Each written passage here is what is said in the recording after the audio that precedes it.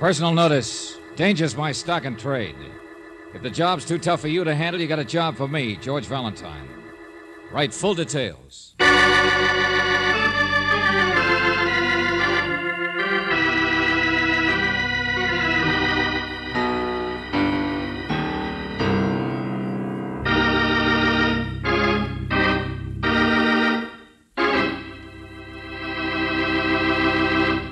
You know something, friend? You look lousy with that gun in your back. Of course, if you're trying to cure your lumbago the hard way, forget I told you. However, if that gat's starting to make a bad impression, why not remove it the easy way? Let George do it. You'll get rid of it or your money back. George doesn't mind taking chances. He figures the odds this way. If he does a job, he's money ahead. If he doesn't, you won't be around to collect anyway, so why worry? On the other hand, everybody doesn't have your problem. Take old Mr. Stengel, for instance. To look at him as he drives down a back country road, you'd never think he had a care in the world. Oh, carry me back to old Virginia. That's where they. T- hey, what? Hey, hey, hey, you!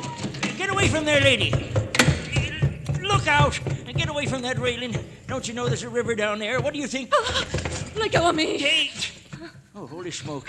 You- You're Mrs. Blair, ain't you? Who'd you think I'd be? A water sprite? Eh, well, well, well, I'm sorry, but gee, I, I seen you there by the railing. I, I mean, it's a good 35 foot drop, you know, and this bridge ain't been repaired for years. I know, I know. And you're out delivering milk. No, no, no, no. Don't look over, you'll get dizzy. Well, I, I sure didn't mean to offend you in any way. It's my view, as it is yours, isn't it? Here, Eh, I'll give you a ride over to your place if you like. Let go of me. Oh, I'm sorry. You frightened me, that's all. I was just standing here, and you frightened me. No, no, thank you. I'll walk. It's a beautiful day, isn't it? Holy smoke.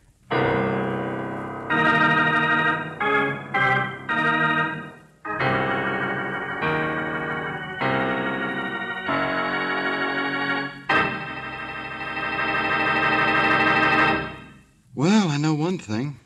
I'm sure glad Mrs. Blair didn't jump. Think of the repercussions if you'd been fishing that day. Would have been awful tough to explain to Mr. Blair that you just caught his wife.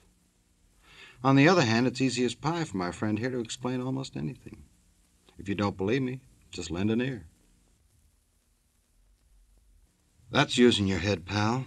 Now let's see if old Mr. Stengel used his. Well, what do you know? He just walked into George Valentine's office.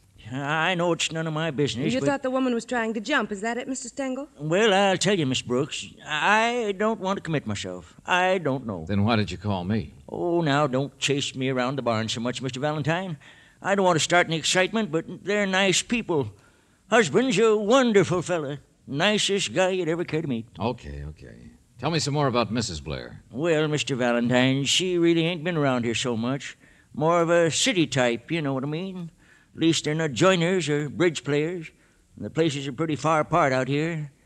I uh, thought she was away someplace. Where's uh, Mrs. Blair been? Do you know? Uh, search me. It's none of my business. You apparently liked her husband. Uh, why didn't you call him after this happened? Well, I did, but there wasn't no answer. Then after I called you, I noticed his tractor out there, just working the field over, that's all. But by then, I figured I might as well keep my mouth shut. Mr. Blair's a farmer like you are? Oh, no, no, no, no. Artist. You know, one of them fellas paints pictures. Pretty good ones, too. Only he's not so good on cows. Draws them all with straight line. Emmett Blair? Yeah. Eh, Yeah, yeah, that's the one. That's his name. I wouldn't be surprised. He's got a reputation. Yes, he has. Owns a nice farm. Really works it, too. Oh, he's a wonderful fellow, he is. He don't associate much, and he's kind of sad looking at times. I don't speak his language, maybe, but, uh, well, he speaks Oh, mine. Mr. Stengel, the point is you don't want to offend this guy, Blair, but you're curious. You don't know him very well, and you know his wife less. But today you saw her very unhappy and maybe thinking about suicide. No, no, and no, then- hold on, hold on. I don't believe in jumping at conclusions, but there's been things that, well, I I don't want nothing bad to happen, that's all. There's been things like what? Well, I'm not a gossip. But in the past, well, it was something the local doctor told me once, always stuck in my mind. Oh, but uh, I'm not going to tell you. That's up to him. Doc Durfee. I uh, don't want Doc thinking that uh, I shot my mouth off with ethical secrets. All right, Mr. Stengel. You just want us to look into it. We will. We'll call Dr. Fee. But in the meantime, I'm going to play it straight. What do you mean? Well, see something you don't understand? Why not go find out? Come on, Angel. We're going to call on the Blairs.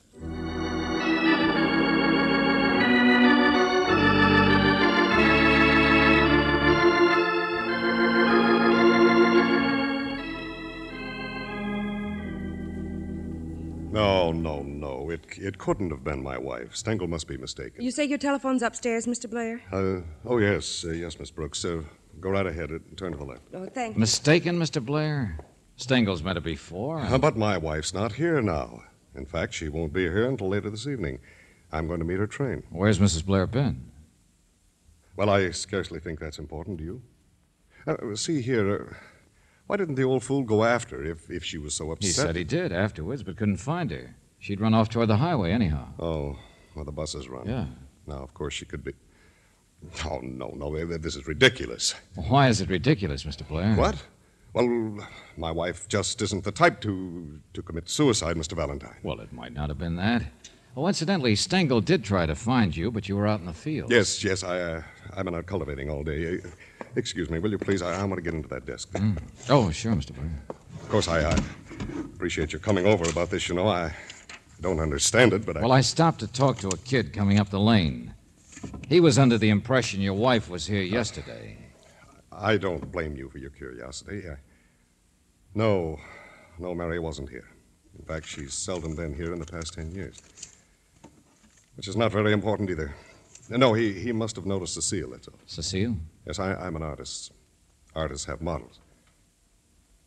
Well, go on, say something nasty. Why should I? Oh, I'm sorry. I, I'm awfully sorry. Forgive me, I am just upset. Cecile's a very lovely person, a very close friend, nothing more. Very few people understand. I, I've been working on a portrait for the past week. But Cecile's gone now. Oh, yes, here, here we are. It's a phone number. Do you suppose Miss Brooks is through yet with that phone? Yes, I am. Huh? Oh, well, uh, will you excuse me then? I, I want to phone the number where my wife's been visiting for the, The past... Clearview Rest Home. Yes. What else did you find out, Angel? She went there six weeks ago because of a nervous breakdown. Now, see here, what is this? What right have you I've two been to- talking to Dr. Durfee. You've what? George, that thing that Mr. Stengel was hinting at was that Dr. Durfee found some poison here once in this house. What? Uh, now, I've only... He wouldn't tell me much more, but he used the word homicidal about the situation Stop here. it. Stop it. Now, listen to me, both of you. If he's a, a country quack, he doesn't... Situation here? Oh, uh, my wife, naturally. All right, since you've pried this far, we we haven't been close for years, but I I've tried to do everything I could to help her, naturally. But they said at the rest home that Mary was perfectly all right, only only a breakdown. I I mean, she. Well, this absurd situation goes back years and years, and I. I oh, get out, will you? What's the use? I, I want to call that place and find out if Let she's me there. call for you, Mr. Blair. What? I'm sorry I blurted out things like that, but I want you to show George your portrait. What? I bumped into the wrong room, I guess. This must be a lot worse than you think it is because there's a painting upstairs of a woman. Oh, yes, yes, of course, Cecile. It's the one I just finished of her. And the canvas has been slashed to pieces.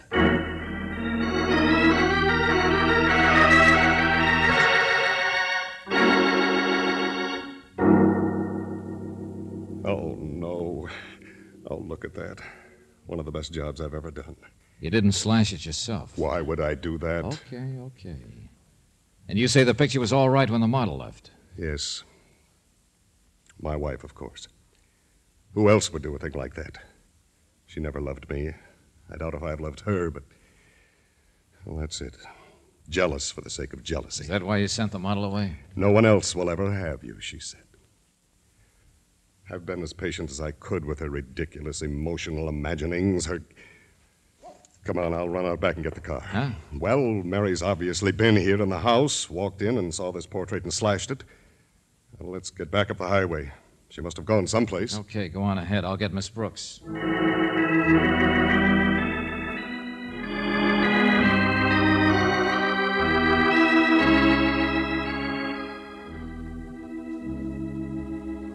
right, thanks. She left that Clearview place this morning, George. Oh. They thought she was coming here then directly. But she's perfectly all right, they say. She was, huh? I don't see how just a picture would be enough to upset her that badly. Yeah, yeah, I know what you mean. I wonder if there's anything else around here to show what she did when. Shall I call Mr. Blair? No, no, let me get it. Hello? Hello, Emmett? Uh, no, this is George Valentine. I'm a friend of his. Is there a message you'd like to. Oh, well, this is Anne, Mrs. Blair's sister. Anne? Yes, I- I mean, I'm at the railroad station, and she's not here. But I haven't eaten, and I want to go to a hotel. Wait a minute, wait a minute. Railroad station? Mr. Valentine, is my brother in law there, Emmett? You want to talk to him? No, no. Mary sent me this wire from Clearview several days ago asking me to come and meet her here at the train. But she wasn't on. it. Yes, yes, I know. She apparently came earlier. Uh, what hotel were you talking about? Well, is anything wrong? Well- Oh, the Plains Hotel, I guess. I have to eat first. I'm here with some friends. Okay, okay, I'll leave a message for you there. See you later. But what is it? Mary's all right, isn't she? In this telegram, she said she wanted me to be with her when she went out there to her home. She didn't want to go there alone. What should I do? I don't know, Anne. But don't worry. Now, my name's George Valentine, like I said. Remember it.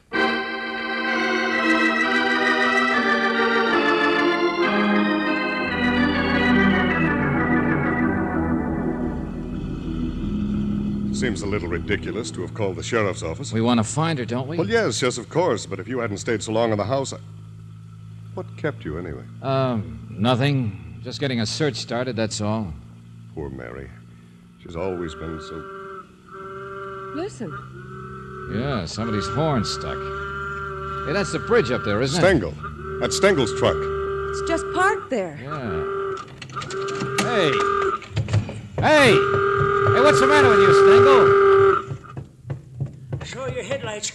Afraid you'd turn off the other way. Wanted help. George, there's blood on his face and his clothes Oh, are. I'm all right. Scratched, that's all, but I twisted my ankle.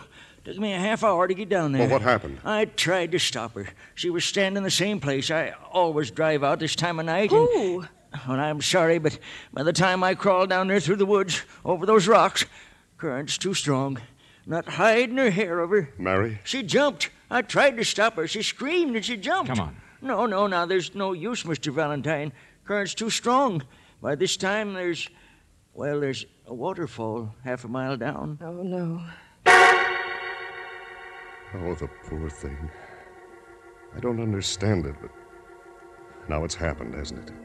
There was nothing anyone could do. Stengel saw her commit suicide. That's all there is to it. Suicide. Or a perfect murder.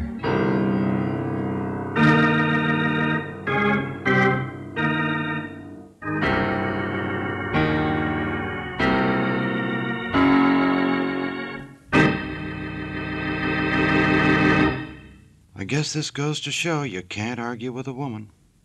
Mrs. Blair made up her mind she was going to drown her sorrows even if it killed her. And it did.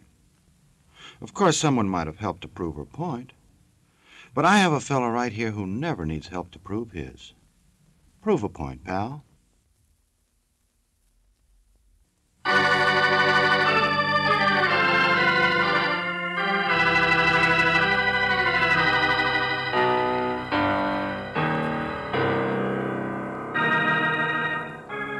You know, there are a couple of angles to this case that don't add.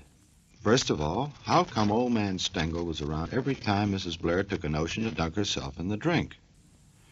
And what was he doing with all those scratches on his puss? Did Mrs. Blair do it, or had he been playing patty cake with a wildcat? And where does Mr. Blair fit in? If he could mix plowing with painting, he also might be able to blend money and mayhem. But who did he hire to push wifey off the trestle? All I know is that even if Blair couldn't paint a cow, he's a past master at throwing the bull. Speaking of bull, here's a prime specimen.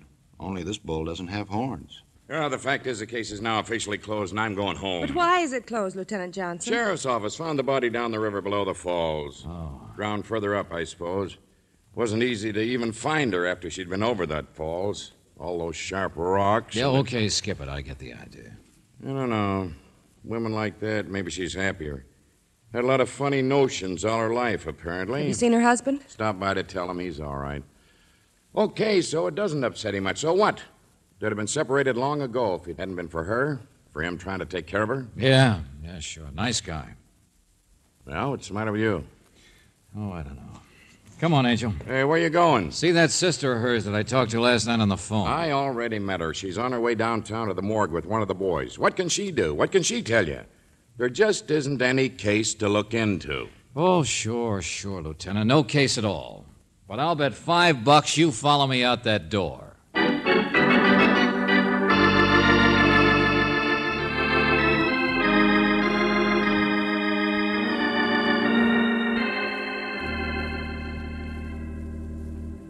I, I don't know anything about them, really. I don't. Been years since Mary and I. Yeah. Now, look, I, I know this hasn't been pleasant, Anne. Ah, I'm sorry, I can't help it. The doctor or somebody took me in there. Oh, well, it's a horrible way to see a sister you haven't seen. She sent you a wire. She didn't want you to go back to her home alone. She didn't want to go back alone. Is that right? That's all she said. I don't know. I just assumed she still didn't feel very well and wanted some help. Well, why didn't you assume she was having trouble with her husband? Because I didn't know she was. Hadn't you even heard of a woman named Cecile? Who? Mr. Valentine, you talked strangely last night, and I didn't understand it. I know my brother in law has gone out with various women, but Mary knew that too. Okay, Anne, okay. But I, I want to take the bus out and see him. At least I've taken care of everything here at the coroner's office, and he ought to know that. I mean, is there any reason I shouldn't? No, there isn't. Huh? Go on, miss, and thanks a Oh, lot. now, wait a minute, Johnson. I'm just go getting. on, go on. There's nothing more to be done. You'll just get all worked up sitting around here. Whatever you say, Lieutenant. Okay, okay, so I'm getting nowhere. That isn't any reason to His barge in- car is parked across the street. Come here. What? Look out the window. That green sedan over there. Blair? Coroner's office didn't realize there was another relative around, so they called him in. Just sitting there. But he's already been inside, don't you understand? While you were talking to the sister. He's waiting for her, I guess. Yeah?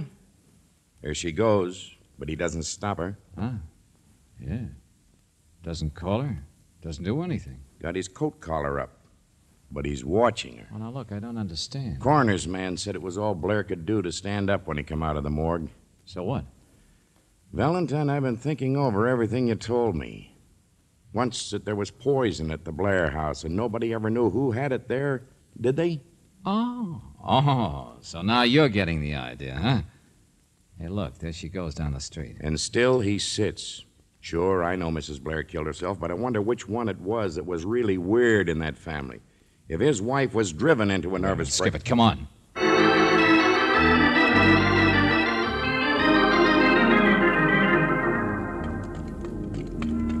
Hey, you, you, wait a minute. Blair.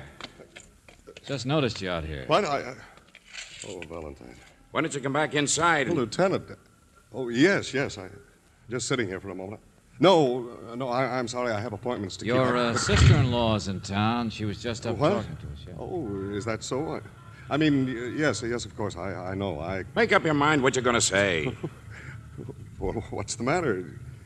Uh, See here, I'm not overparked in this place, am I, or something? What's the matter with you, Mr. Blair? I, I, I'm afraid I don't feel very well. It's nothing at all. What's the matter with your face? Nothing. I... All right, all right. I've been crying. Isn't that all right with you? Crying? Or I suppose you're so used to experiences like this you wouldn't expect a man to behave normally. Get out of my way! Hey, Mr. Look, Blair, wait. Leave me alone! Look out! You, how do you like that? What in the... I'm going to get that guy. He's nuts. Did you hear the way he... Yeah, sometimes murder can be so simple, can't it? What? You heard me, murder. Well, go on, catch him, step on it. Me, I'll take a different direction. Valentine. I've just waked up to the fact there's liable to be another murder unless I can stop it in time.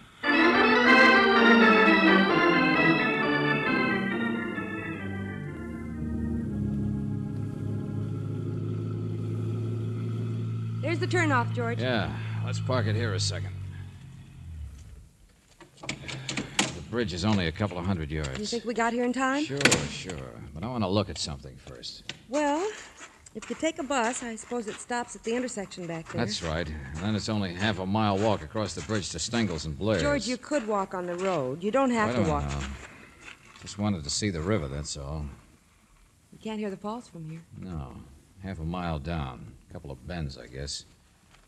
Water looks deep under the bridge, doesn't it? Yeah. George, look. Mm. No, no, by the road. Walking from the highway. There she is. Oh, yeah. Come on, let's get back up there. Are you sure, George, that you figured out? I'm not sure of anything, Angel. Just don't want to take chances, that's all. But you didn't get any answer at that telephone number that I asked you to call before, and then. What's the matter? What are you stopping for? It's Anne, George. Aren't you going to stop her before she gets out on the bridge? Green sedan. Hmm? Sure. Sure, she came straight out. Only where is. Hey, George, there he is. don't be afraid. I'm not going to hurt you. Wait a minute now. I, I was coming to see you, Emmett. Yes, I know. This is the place, isn't it? Emmett, what's the matter with you? You don't have to ask that. Get away from me. I was coming to see you. Get away from Oh, me! wait a minute. Running won't do you any good. Come on, step on it. Stop. I tell you, stop. I'll get you no matter what. George! Emmett, don't! Emmett! And nothing will help you. No. You're going to die like, Stop like she did. You're going to... Let go of her, Buster.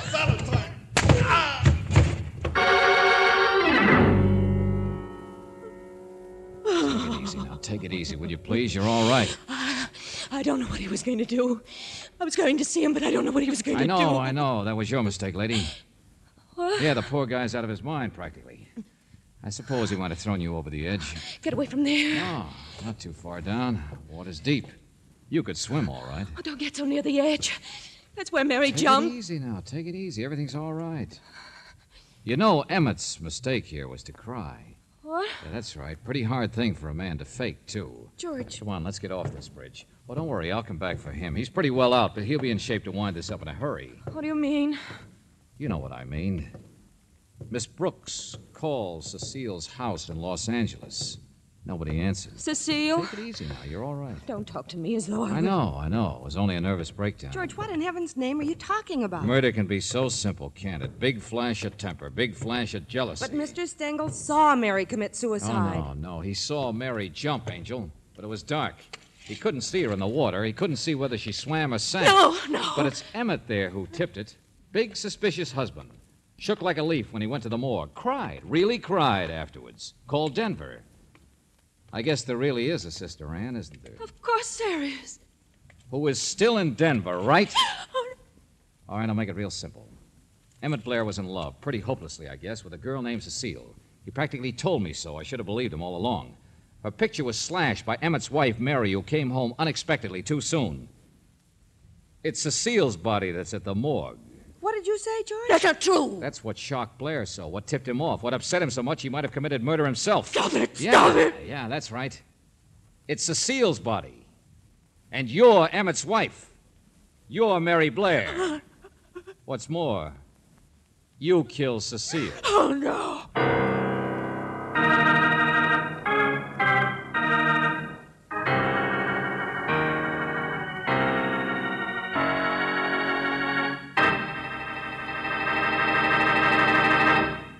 Those are mighty powerful words, George, and you better be ready to back back 'em up.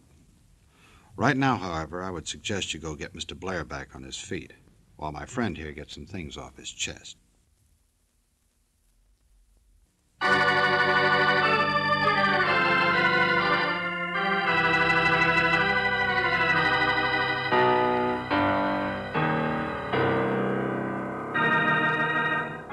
George said earlier that this was almost a perfect crime.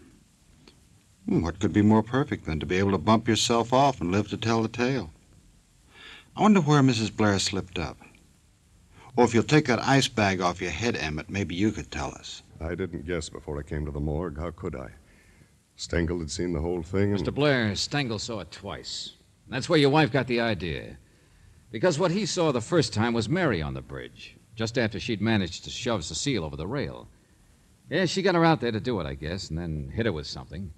Because she knew what had happened to a body that went over the waterfalls down below. You mean identification would be almost impossible? Yeah, she had a very neat plan, all right. Once the big temper wore off, the crazy jealousy, she decided that she would identify the body, which she did, posing as Sister Anne.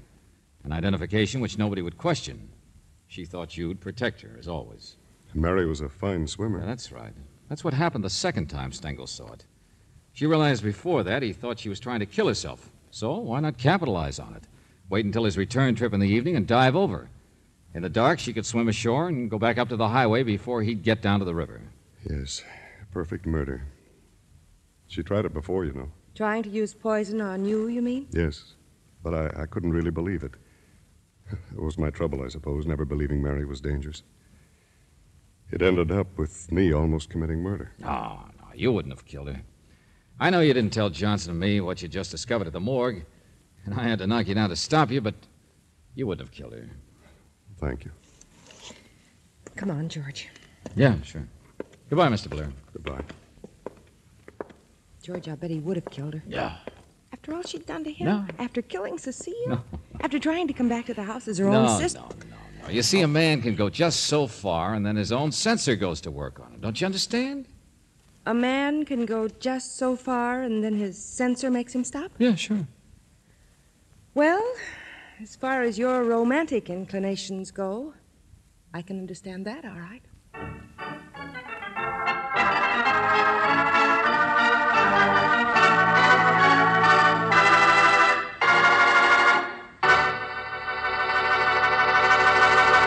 Georgie, I got a big TL for you. Now, either you tell that censor of yours to loosen up and give a little, or you better start thinking of a few choice last words, 'cause any day now you're going to need 'em. And if you can't think of any right off, well, you might say that uh, George Valentine is played by Robert Bailey, with Virginia Gregg as Brooksy. Don Clark directed the script by David Victor and Jackson Gillis and that uh, pounding in E flat minor was Eddie Dunstedter at work. I hope you'll save us some time for another visit with Valentine, when you will again hear what happens when you let George do it.